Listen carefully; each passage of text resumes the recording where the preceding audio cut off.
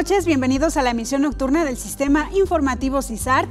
Mi nombre es Ivette Martínez Godoy y esta noche de Navidad le presentamos un compilado de las notas más virales de 2020, todas aquellas piezas periodísticas que fueron de su predilección en nuestras redes sociales. Iniciamos. Arrancamos esta noche con una nota sobre la carne de rata que tuvo un alcance en nuestras redes sociales de más de 23 millones de personas alcanzadas. Una pieza de mi compañero Franco Elizondo Márquez. Originario de la comunidad El Rucio en el municipio de Villa de Cos, Zacatecas, Pedro Vázquez tiene más de 20 años dedicándose a la venta de carne de rata, zorrillo y víbora de cascabel. Cada lunes, martes y jueves, Pedro se instala a las afueras del mercado Arroyo de la Plata, sobre la calle García de la Cadena, exhibe sus productos y comienza la venta de esta carne que para muchos tiene un sabor especial. ¿Cuánta le damos, patroncita? Ahí hay, ahí hay buenas, patrona.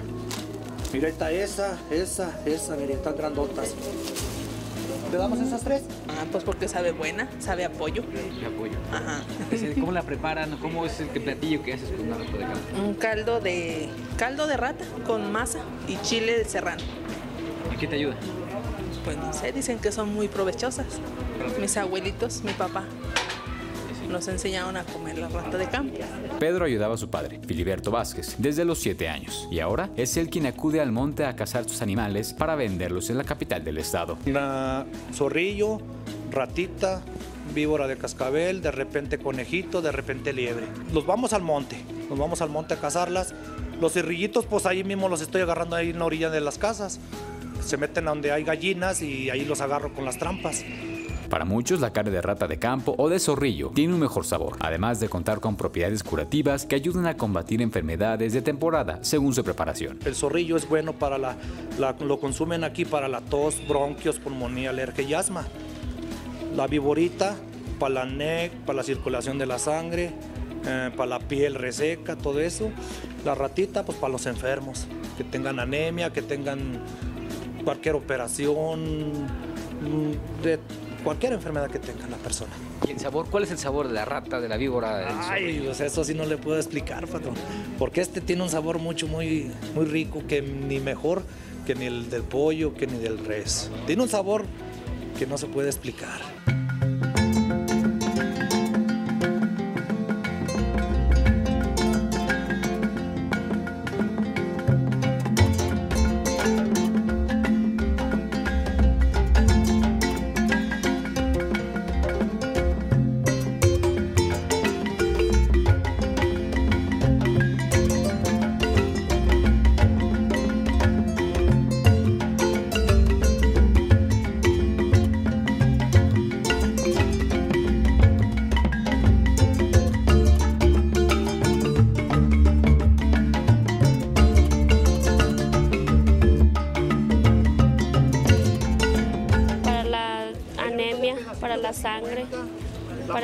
Bien. ¿Cómo lo preparan? La coso, la coso con- como para campo, con verdura. Mi papá va al campo y las trae, nomás que ya ahorita como está muy feo ya, ya no va. Como he venido aquí y aquí las compro. ¿Cómo preparar la ratita de campo? Ah, pues en- igual con un caldo de pollo. Como yo lo hago, pues nomás le echo ajo, cebolla, tomate y es todo. y la carnita. Y ya mucha gente ya le usa, le, le echa papa, zanahoria, calabaza, eh, todo eso, pues ya, ya le quita poquito la vitamina a la ratita que trae. La rata de campo la ofrece a 35 pesos y es utilizada comúnmente para prepararla en caldo. El zorrillo lo vende en 50 pesos y en partes, mientras que la víbora vale 100 pesos y su comercialización depende de la temporada. Para Sistema Informativo CISART, Franco Elizondo Márquez. Seguimos con los temas de comida que fueron sus favoritos en nuestras redes sociales. Los dejo con la historia de la birria cabrera que puede encontrar en el mercado Arroyo de la Plata, también de mi compañero Franco Elizondo Márquez. A ver, a la birria, pásenle, jóvenes, ¿qué les vendo? Pásenle a la birria, soy gorda.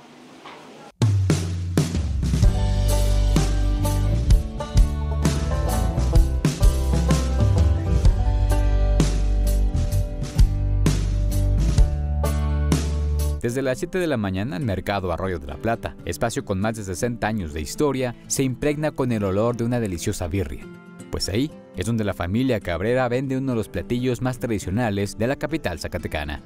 Desde el 85, 1985 hasta la fecha. Más de 30 años. Más de 30 años. Iniciamos ahí en el tianguis del mercado de abastos aquí en Zacatecas. ¿Quién está? ¿Su familia? ¿Quiénes la venden? ¿Quién está con usted? Ahorita está aquí mi familia, mis hijos, la mujer y es un negocio familiar más que nada. Inició un hermano mío aquí en la aventura, en la antigua calle Ventura Salazar, a un costado de la central camionera. Ya después de ahí nos fuimos para el Abastos y ya del Abastos nos fuimos, nos, llegamos aquí al mercado Río de la Plata, dando tropiezos y brincos y todo eso, y echando a perder porque pues, el que inició con este negocio es mi, es mi hermano, el mayor. Los que saben dicen que las mañanas no pueden iniciar sin un plato de birria acompañado de un refresco. Es por eso que Raúl Cabrera busca traer de los municipios de Guadalupe, Trancoso y Zacatecas el mejor carnero para ser servido en un espacio ambientado con música tradicional. Bueno, pues un buen plato de birria lleva pues más que nada una buena preparación de lo que es el, cordero, el borrego, el chivo, la chiva. Y ahí viene la preparación de nosotros. Ya intervenimos ahí nosotros con la preparación de la mano de obra, de la mano artesanal de preparar la birria para su consumo humano y darle pues el toque con sus especias y es, pues más que nada el sabor de, los mismos animales, ¿verdad? Mire, por ejemplo, esta es una preparación de un plato de birria, estilo Zacatecas, que es de estilo caldoso, pero igual lo pueden pedir caldoso o seco, todo separado. Lleva su birria, lleva sus verduras y sus consomeses. El sabor de este platillo que se vende al interior del mercado es único, por lo que este espacio se abarrota desde las primeras horas del día, pues la preparación, el picante y lo caliente al ser servido al momento otorgan las energías necesarias para iniciar el día. Así es. Sí. Sí, para agarrar energías y darle con todo el trabajo. Oye, dicen que la birria en el mercado sabe mejor que en otros lugares. ¿Tú cómo lo viste? Pues creo que sí, este, como que en el mercado se, se come como, aparte de lo que es la birria, como la tradición de, de años de, no sé cuántos años tenga la birrería, pero eh, los años que tenga es como la experiencia y el sabor que se le va dando a través de los años.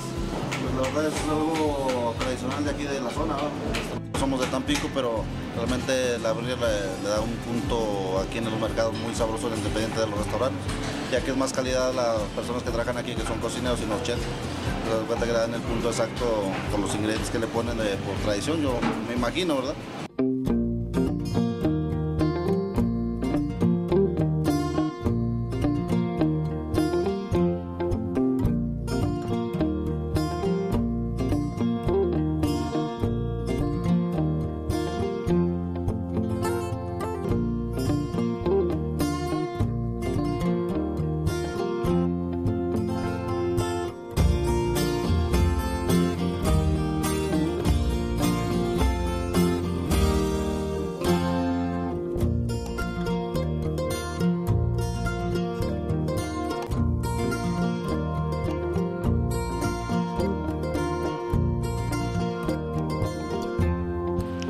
Sabor de- del pueblo, por decirlo así, el sabor mm, regional, el sabor único que tenemos como, como, como región, como estado, pues, de que,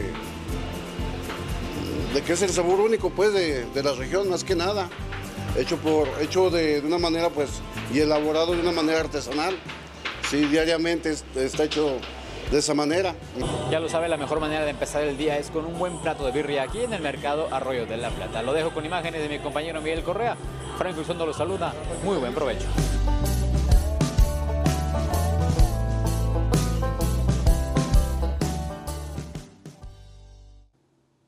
En junio, el anuncio del cierre de las empresas Aptiv y Entrada Group en Fresnillo, debido a que fueron detectados por lo menos seis casos de COVID-19 entre sus trabajadores, fue otra de las notas que más interacciones tuvo en nuestras redes sociales y aunque días después las autoridades dieron marcha atrás a esa determinación, les presentamos la información. El ayuntamiento de Fresnillo reculó en el cierre de las empresas Aptiv y Entrada Group, pese a que se confirmó el caso de trabajadores infectados de COVID-19 en estos espacios. El presidente municipal Saúl Monreal Ávila aseguró que hubo una falta de comunicación con ambos corporativos, por lo que la semana pasada realizó una reunión virtual con los directivos de ambas empresas, quienes expusieron las medidas que se están tomando para evitar nuevos contagios, las cuales consideraron son suficientes para que las plantas sigan operando. Tuvimos contactos ya con directivos, se implementaron medidas, se les está dando seguimiento y en el caso de Río Florido también, incluso quiero informarles que en un principio, hace un mes, cuando empezamos los padrones, había cerca de 3.000 trabajadores. Ahorita a la fecha ya llevamos 1.300 trabajadores que se han ido a su respectivo lugar de origen. Hubo falta de comunicación. Ellos, por ejemplo, en el caso de Aptip, me enseñaron todos los protocolos que se implementan. Informó además que Fresnillo se regirá bajo un semáforo propio para determinar qué comunidades y zonas del municipio pueden reactivarse. De momento, afirmó que se encuentran en semáforo naranja como lo ha decretado la federación. Sin embargo, hay comunidades como San José de Lourdes y Río Florido que son zonas de alto riesgo por el número de contagios entre trabajadores agrícolas. Se va a llevar ya un semáforo en Fresnillo, un semáforo donde vamos a eh, determinar a través del comité municipal y las personas expertas epidemiológicamente para que se lleven a cabo eh, las reaperturas en algunos lugares. Estamos armándolo, yo creo va a ser los viernes los cortes del semáforo. Finalmente informó que de momento los hospitales y espacios destinados a la atención de enfermos de COVID-19 no han colapsado, pese a que la semana pasada estaban a más del 90% de su capacidad. Monreal Ávila agregó que será cada viernes cuando se informen los cambios en el semáforo municipal y adelantó que se espera la reactivación de actividades como la expedición de pasaportes, misas y negocios no esenciales en próximos días. Para el Sistema Zacatecano de Radio y Televisión, informó César Horta. Ahora nos vamos al 8 de marzo para recordar cómo se vivió la marcha feminista en el marco del Día Internacional de la Mujer.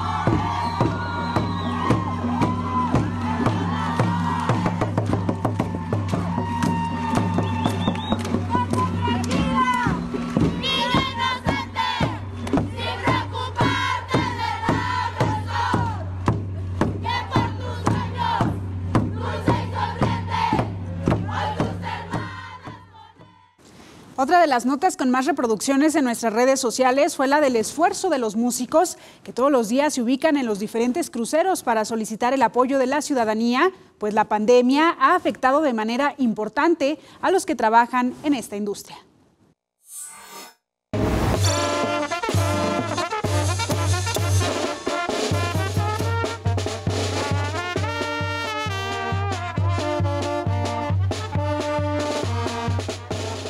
La pandemia no provoca que decaiga el ánimo porque la vida sigue marchando. Es oportunidad para ver y valorar la gente. ¡Adiós! Y ver la, clase. Ahí, ahí está la prueba de que ves, pasan y con ese saludo te, aseguro que se nos, eh, se nos mueve el corazón.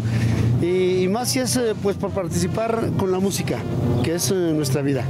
Yo pienso que poco a poco vamos a ir saliendo a la, bueno, como estábamos antes, a la normalidad pero sí es un poquito incómodo para nosotros por la forma en de que no nos podemos este, acercar mucho, la gente no va a poder este, bailar en las callejoneras por un tiempo y pues es algo que debemos de seguir para poder salir adelante.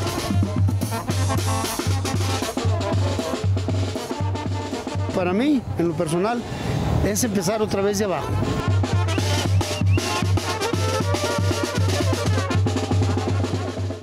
La emergencia sanitaria trajo consigo la disminución del trabajo. Por ello, este crucero se volvió la esperanza económica de estos músicos que hasta hace no mucho tiempo eran representantes de las tradiciones zacatecanas en México y el mundo.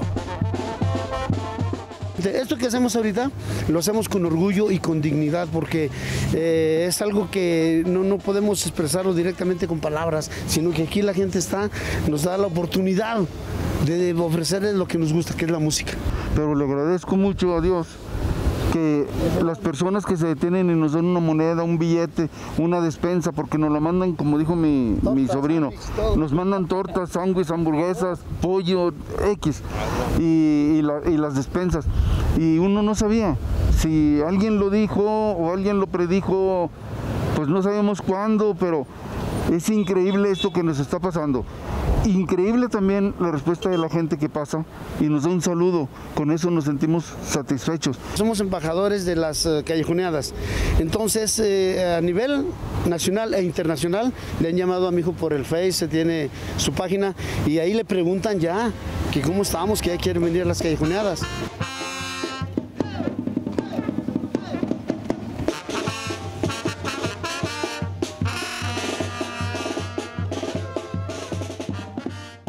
¿Cuánto tiempo vamos a esperar? Esa es nuestra duda, ese es nuestro, nuestro, eh, en parte nuestro proyecto de qué es lo que vamos a hacer. Pero la música sigue, ¿eh? la música sigue, seguimos este, haciendo chistes, este, de repente nos juntamos y tratamos de hacer planes.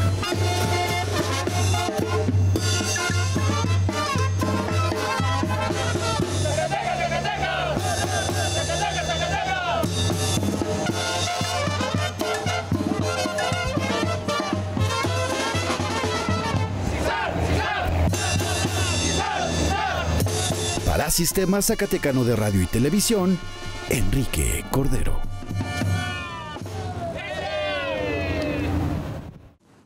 La cancelación del Sábado de Gloria en Jerez, una de las fiestas más reconocidas del pueblo mágico, fue otra de las notas más virales de este 2020. Vamos a recordar cómo lució el centro de Jerez el pasado abril. Nos encontramos en el municipio de Jerez, donde cada sábado de gloria se reúnen aquí cientos de personas, migrantes, extranjeros y personas locales a celebrar el sábado de gloria. Hoy el panorama es totalmente diferente y estas calles que regularmente es difícil transitar, hoy están solas.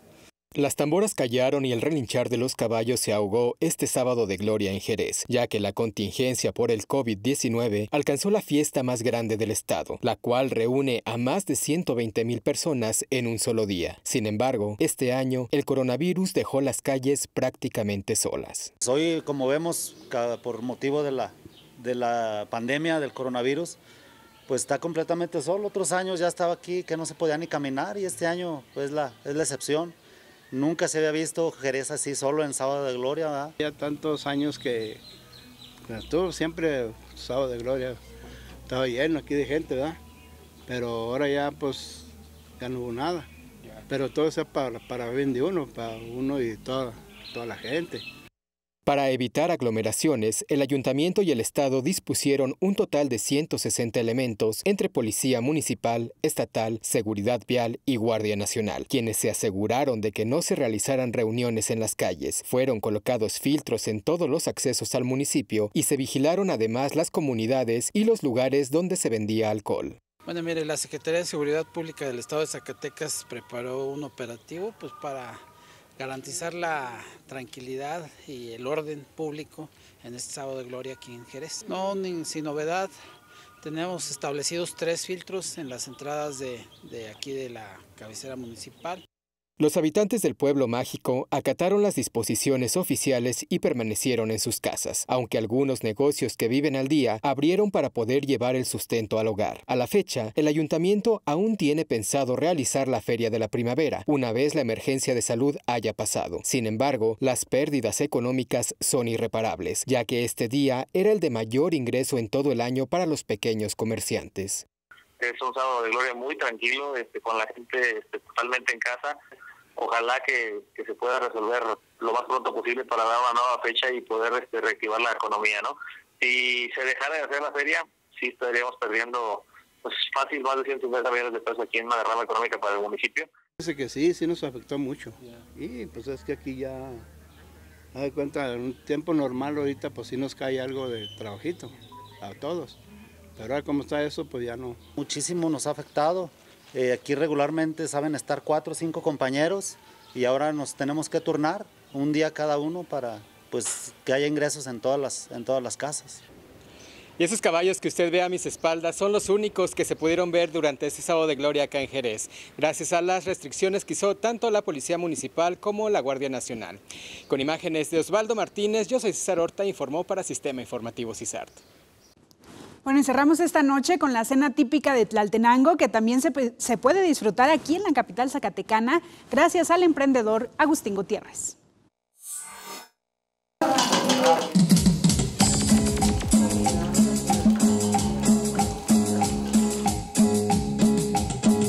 Mi nombre es Agustín Gutiérrez Casas y soy docente de profesión, maestro de educación especial, normalista de la, egresado de la normal Manuel Vela Camacho. Eh, últimamente me estoy dedicando a lo que es el comercio.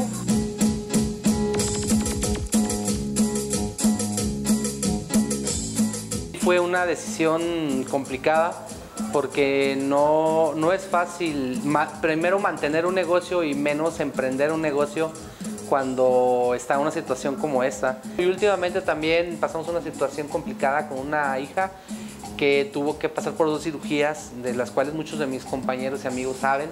Entonces, mm, pues esto es un apoyo que, nos, que, nosotros mismos nos buscamos, porque sí mucha gente nos, nos hecho la mano, pero bueno, si uno mismo puede buscar la manera de salir adelante y sobrellevar sus situaciones personales, pues ¿por qué no hacerlo?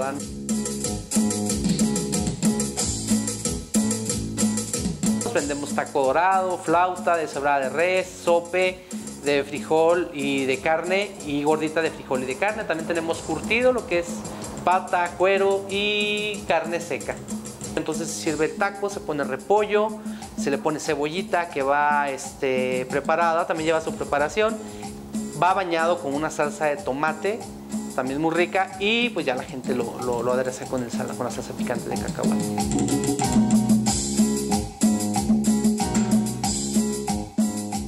Yo quise ah, poner un negocio que, fuera típico de Tlaltenango para poder, bueno, primero ayudarnos económicamente, pero también porque sé que hay mucha gente que ha vivido allá y se viene a vivir acá, como en mi caso, que ya tengo tres años viviendo aquí, y extrañamos lo que es la comida típica. Yo lo que quise en este negocio, aparte de llenar el estómago de la gente, es llenar los recuerdos, llenar la, ese vacío que tenemos los que salimos fuera, ¿verdad? Entonces, eh, pues minuciosamente estuve buscando fotografías que, foto, que, que mostraran un poquito de la esencia de lo que es Tlaltenango. Hay gente que viene y recuerda Tlaltenango por la cena, pero también ubica lugares, ubica personajes. Hay gente que llega y se acuerda del blues, se acuerda del santo. Todos los que son de Tlaltenango saben de lo que hablo. La respuesta de la gente ha sido buena. Eh, viene mucha gente de Tlaltenango a probar los tacos, a ver el lugar y pues más que nada este, a, recordar su tierra, ¿no? lo que es el sabor, que más que nada a veces uno es lo que extraña cuando está afuera. Yo gracias a Dios la docencia es una profesión noble que me permite el poder combinarlo. No te miento, no ha sido fácil porque ahorita en esta situación a los docentes se nos exige más todavía.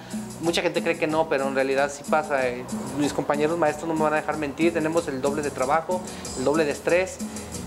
Y bueno, hemos sabido combinarlo. A veces estoy en reunión en Meet y estoy picando cebolla o estoy curtiendo cuero. que si tienen una idea en la cabeza la desarrollen. Como siempre se dice, el límite es uno mismo, ¿verdad? Vengan a cenar a los adorados de Tlalte. Aquí los esperamos.